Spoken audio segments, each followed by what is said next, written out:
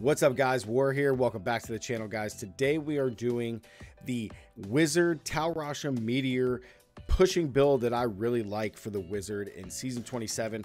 I was actually very, very excited that the Wizard finally got like a really cool Meteor build and testing in the PTR was absolutely insane. This build just seemed so cool and it was just so visually appealing that we had to build it, okay? So everything in this build is going to be evolving around casting our meteors. Now, I do want to note that the angelic crack or crucible power that we have on here is the storm armor one. So every 30 seconds is going to cast a storm armor you know lightning strike to kill an enemy. This is the best one to put on here. As you guys know in the ptr this was completely busted. People would go back between storm armor and energy armor or ice armor one of the two and it would just lightning strike and kill everything. People were clearing gr 150s so fast but they've nerfed it so this is the power that we're going to go with. So let's get into it. You guys already know how we're going to do our videos. We're going to showcase it in a GR right now. We're just going to do a GR 90. I just want to showcase this to you guys, and then we'll just push up uh, to a higher one than that. But let's talk about the build. So everything is evolved around casting meteors, okay, and getting our Tal Rasha elemental stacks to do even more damage, okay? So the way we attain this is through a couple different skills. We're going to have one for fire, one for ice, one for uh, arcane, and then one for lightning. Okay?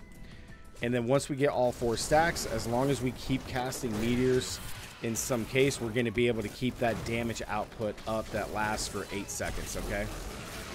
And that is it. I really like this build, and it's built a lot differently than I think a lot of other players are doing it, which I think is just really cool. Oh, excuse me, guys. Sorry, I just smashed a burger and I got like, I got the burps. But the build is just really, really fun. You should always be able to cast uh, your meteors, no problem. You should be able to spam these. You know, like just spam them nonstop. As you can see, like my arcane power, like really doesn't dip down a whole lot. So you should have no problem just spamming meteors. Now, if you do get low, you're going to have to change a few things. That probably means that you're not hitting enough monsters to get our arcane power back and reset our um, teleport. Ooh, we almost ran right into that, huh? Because the more monsters that we hit, the faster that our teleport gets reset. Kill those guys.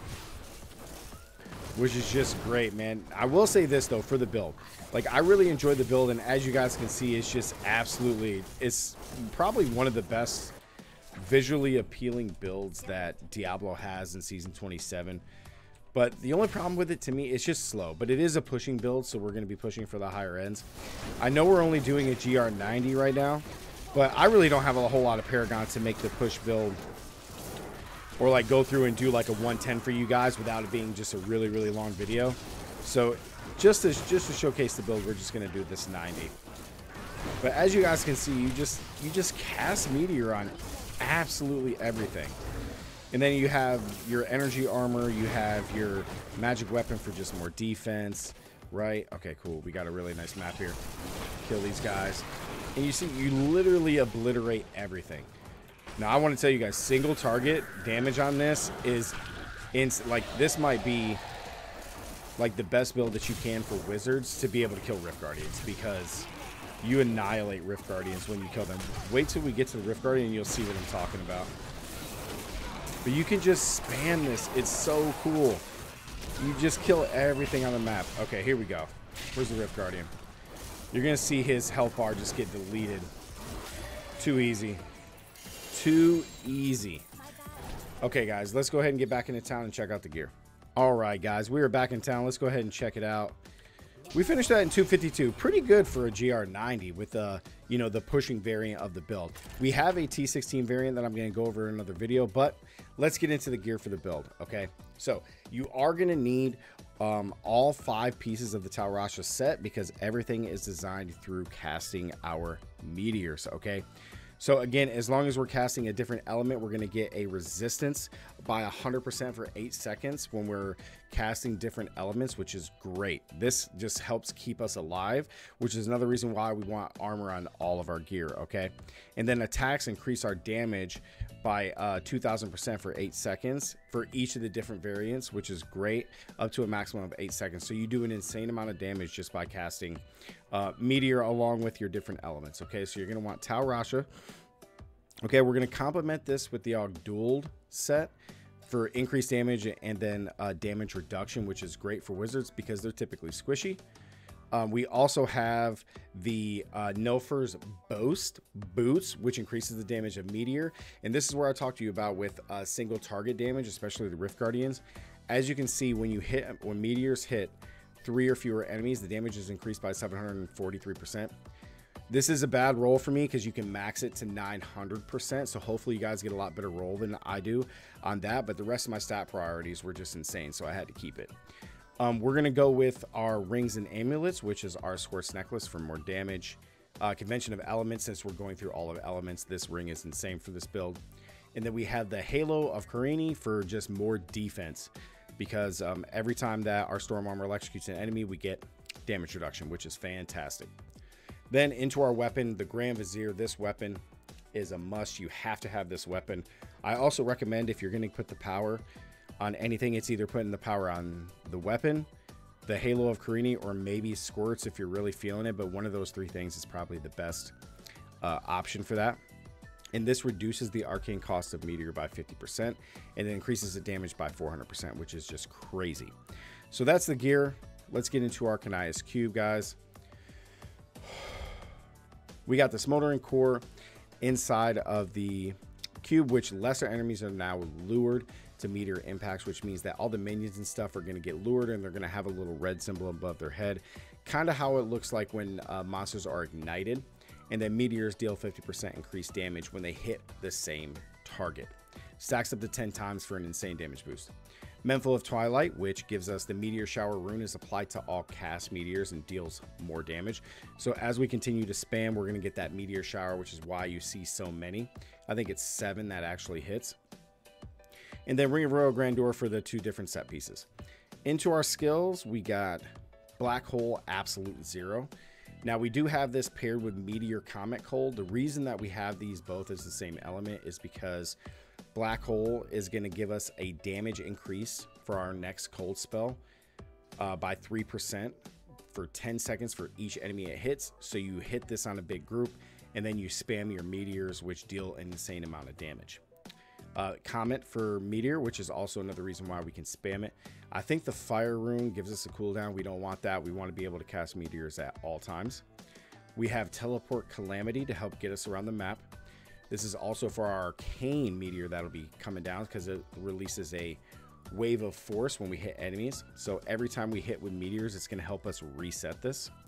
Storm Hour Power Storm Armor Storm Hour. Storm Storm Armor Power of the Storm. This gives us a reduced arcane power cost of all skills while it's active. Meteor already costs a whole lot, so anything we can get on that is really good. Uh, we have Familiar Sparkflint for the fire element. This just gives us a, a, a, small damage increase, but this is just mainly to get our fire um, meteor, which is great just to hit all four um, elements. And then we have magic weapon uh, conduit. Enemies hit by our attacks restore arcane power. This is another reason why we can spam meteor and just never really lose arcane power because as we're just raining down meteors, we hit everything and it just gives us arcane power back. So it's great. Into our passes, we have galvanizing ward for just more defense. Elemental exposure, we're using all the elements, so why not take a big, huge damage increase for that?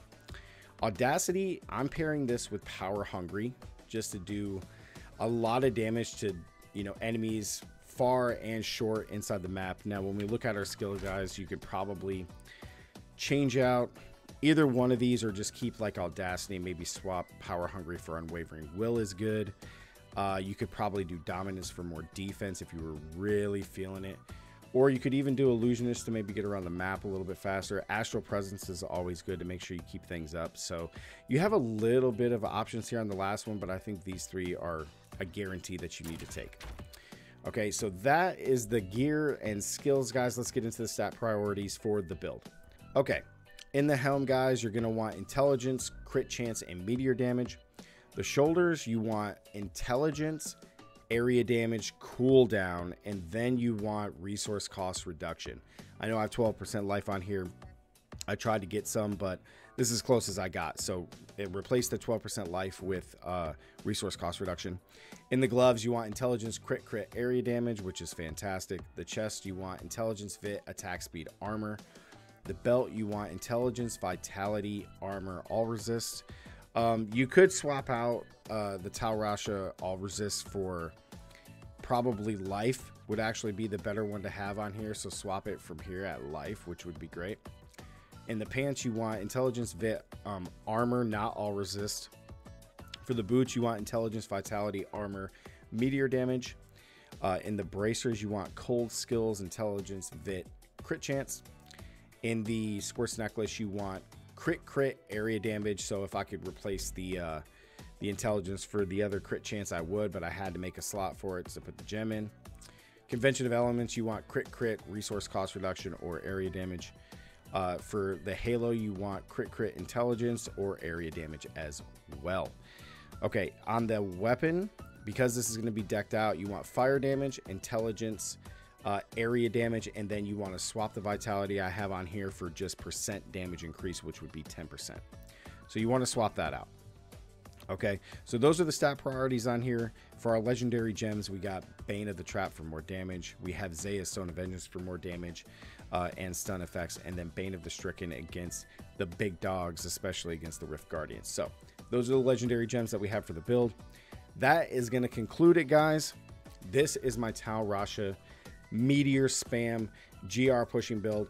I think if we look onto the chart, guys, on the leaderboards, I think Tal Rasha's ends up pushing into the 140s. So the build is very, very strong. So you're going to be able to push really, really high with this. I just need some more Paragon to do it. And uh, as you guys can see, I don't really have anything augmented and I still need a few stat changes. But the build is absolutely insane, guys. If you try it, let me know down in the comments what you think. Um, the Wizard has been like my very first character that I ever played in Diablo 3. So I'm really happy that they have a, a crazy build like this.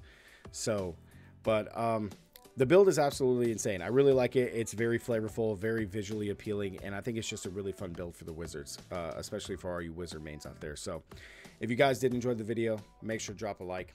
If you guys are new here, be sure to subscribe. All the love you guys have been giving me is fantastic.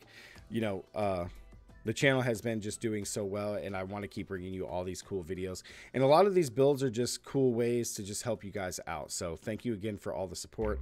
Um, and as always stay gaming. I'll catch you guys in the next one. Peace